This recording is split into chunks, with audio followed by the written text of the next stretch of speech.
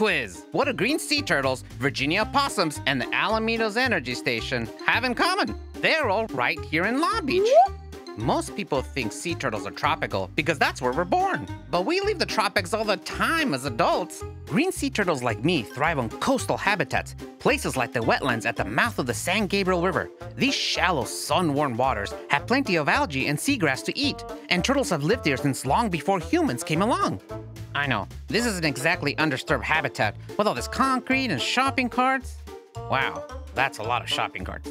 You might not think turtles could survive here, but for over a decade, a team of volunteers from the Aquarium of the Pacific have been counting the turtles, and we've learned that turtles stay here year-round. Aquarium volunteers and other groups have been working to clean up and restore the wetlands, but it's a big job. And in the meantime, we sea turtles do what we have to do to survive. For a lot of us, this means becoming urban wildlife, just like the opossums.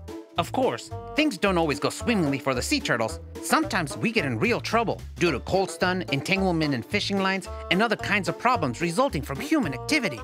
Every year, the aquarium helps to rescue and rehabilitate turtles, nursing them back to health so they can be returned to the ocean just off our coast. It's just one more reason to remember that no matter how far away it might feel, nature is always around us. And everything we do, even in the middle of the big city, can affect animals like me.